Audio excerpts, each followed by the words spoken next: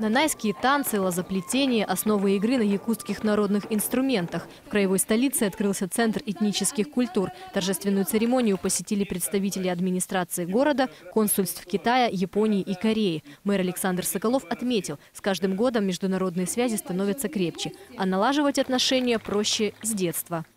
у российского народа традиции давние, дружба между национальностями, дружба между людьми.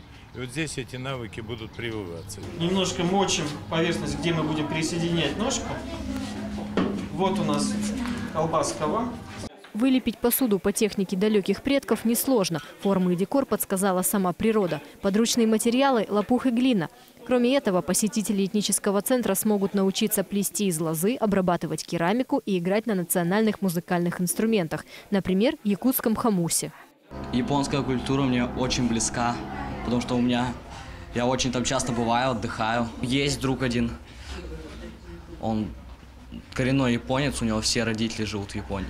На открытии центра гости смогли познакомиться с творчеством юных художников нашего края, а также городов-побратимов дальневосточной столицы – Харбина, Пучона, Ниигаты. Представители иностранных делегаций отметили значимость международного культурного сотрудничества между странами Азиатско-Тихоокеанского региона.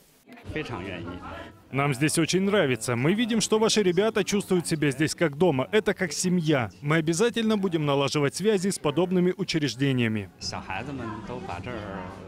На создание центра из городской казны было выделено свыше 10 миллионов рублей. Кроме народного творчества, здесь будут преподавать современные виды искусства – танцы и вокал. Созданы творческие площадки для любителей 3D-моделирования. Посещать занятия бесплатно смогут свыше 700 юных хабаровчан. Анастасия Незнанова, Дмитрий Маклаков. Хабаровская студия телевидения.